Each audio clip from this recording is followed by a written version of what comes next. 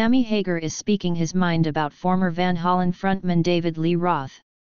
On a recent episode of Steve-O's Wild Ride podcast, Hagar, the band's vocalist who replaced David Lee Roth, claimed Roth ain't like his persona.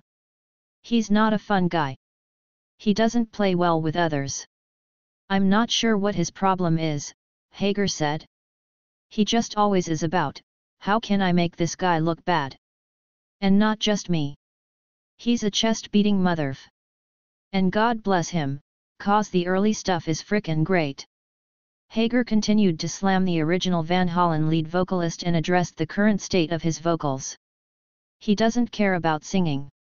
If he did, he'd take care of his voice, or he'd take voice lessons and get warmed up and do something.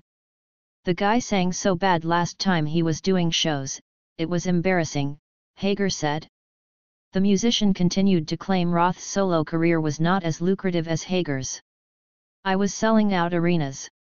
I was selling out amphitheaters, Hagar said. Dave, he had that sort of a big album, one kind of a big album, but he didn't have a solo career. He was playing small places. So, when he came in with me, he was making, like, $25,000 a night, I was making $150,000 a night, and they said, oh you guys are gonna make the same money. Dave gets to make 150. Hagar recounted his initial reaction to Steve-O and said, he ain't effing made 150 in his life except in Van Halen. But I said, I've gotta do this. So I bent over backwards. And he still always tried to F with the rules.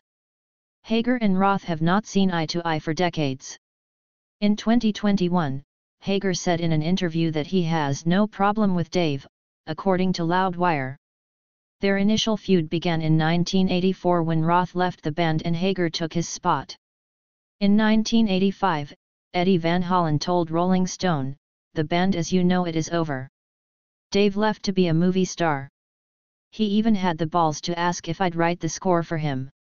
In 1995, the Los Angeles Times reported that Eddie Van Halen drove to Roth's house in an attempt to get him to rejoin the band.